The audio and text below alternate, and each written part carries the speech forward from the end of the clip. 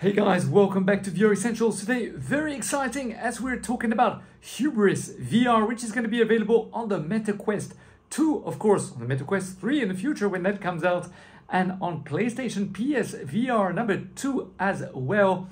And it's been available on Steam for quite some time. Now let's take a look very quickly at their website. As you can see, it's been revamped. If you're not familiar with what Hubris is, it's basically a recruit of the U is sent to the twin planet system to search for the mysterious agent Cyanha. With the help of pilot Lucia, the player will have to shoot, swim, climb, and jump to survive the harsh environment and wildlife on a planet being terraformed whilst fighting wicked enemies of the U. Mm. So it's actually a pretty cool game. Now, we did a video, let me just show you very quickly. We did a video on the VR Essentials channel, which is here, which is entitled Hubris 20 hours later review graphics tips on Oculus Quest 2 Pico 4 and Reverb G2. So I did this this video, you know, quite a while back. Since then, I've played maybe 50 hours in this game, most undoubtedly, or at least 40 hours at least. And let me tell you, there are definitely some things here and there. It's made, by the way, by the studio Cyborn, and their budgets are, you know, they're not as much as, you know, Valve and, and these guys doing Half-Life Alyx, but the job that they did is really good. Considering the fact that their team isn't as big, apparently I was talking to the main developer, he said that they had to change the developers quite often, so you had different people working on the exact same thing. Now this was for the Steam version. I'm not quite sure about the Meta and also the PlayStation version, just FYI, I'm just talking about the Steam version. So, you know, considering all the challenges, the challenges, excuse me, that they had, they did a great job. But more importantly, what are the others saying? Let's find out. All right, so first of all, if we go to Gamertag actually says that the bag the, the game now the other thing that was quite funny is that most uh, content creators have actually been reviewing the PS VR version of the game and VR Attack says that he's actually had a really good experience in it. He doesn't think it's a must buy. He still thinks that, you know, and generally this goes across the board, by the way. They feel that there are some things missing here and there. For example, the AI of the monsters or the gameplay is rather a little bit basic. But as I mentioned, I think considering all the constraints that the developers had is definitely a really good vertical slice. And he does give it a 6.8 and, you know, he thinks it's a game that you should definitely try for sure. As also Bearded, uh, sorry, Beardo Banjo, well, I thought it's Bearded Banjo, but it's Beardo Banjo, okay. Uh, he also says quite, you know, frankly, the same thing as well. Uh, he says that the graphics are pretty good, the gameplay is okay, but, you know, the enemies, it would be great if they were a little bit harder, and also if there was more interaction uh, with the actual you know characters in the game too. MRTV, same thing. Actually, MRTV seems to be the one who's enjoying himself the most. Now, this game is definitely for those who love sci-fi kind of things, who like to travel, be immersed in different worlds in virtual reality.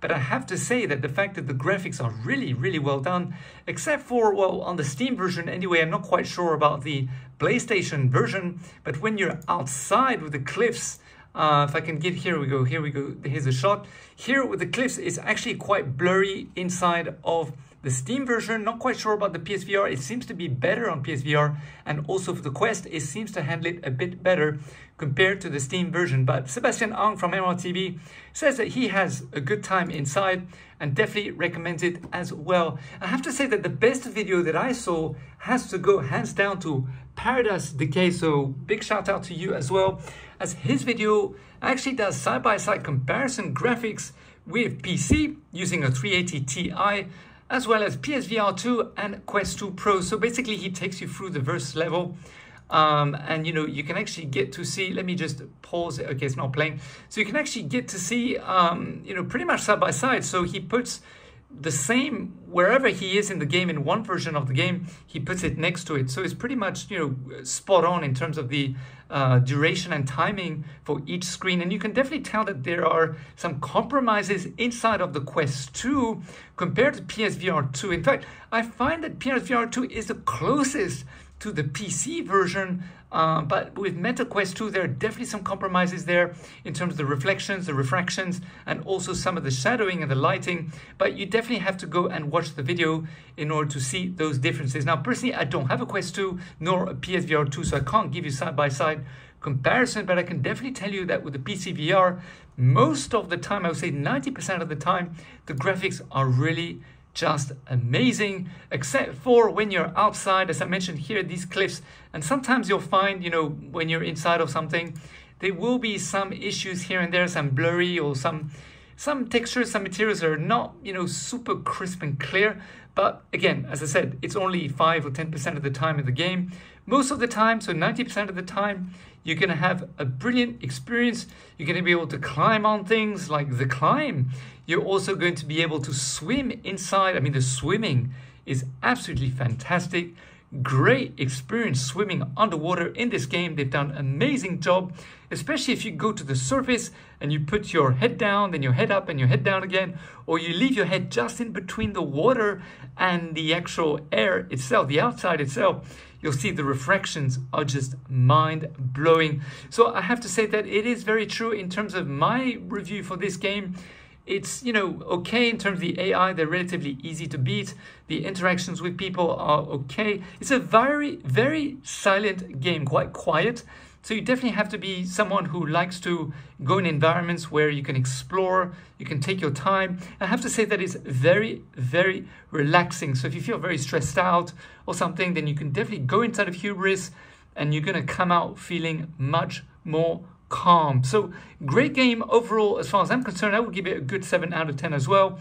But guys, yeah, I hope that you enjoyed this video. Let me know, hit the thumbs up, hit the likes so that, you know, I can do more of these kind of videos and I get your feedback. You're telling me that these are the kind of videos that you want me to do. Leave your comments. Let me know, do you have Hubris? On which platform do you have it? And do you have it on multiple platforms, multiple headsets? Which headset do you like to play with it the most? And by the way, I did want to let you know that with this specific headset, the DPVR, now there are some issues running the OpenXR. It, well, for me anyway, the game freezes quite often. And when it freezes, it freezes for you know, a good 30 seconds or one minute before it continues. So there's definitely some issues there. Now, I have let the developers know at, of course, Hubris at Cyborn, and I've also let DPVR know. So hopefully they'll be able to resolve the bug very, very fast. Guys, so much to say. I'll see you in another video, a live stream Tonight, tomorrow night, or the, the night after that, we're going to be using DPVR, doing some Automobilista 2, and plenty, plenty more. We might have also the founder of Walkabout Mini Golf very soon. So hit the notification bell after you subscribe so you're notified about all these really awesome videos coming out very soon. See you later, guys. Bye for now.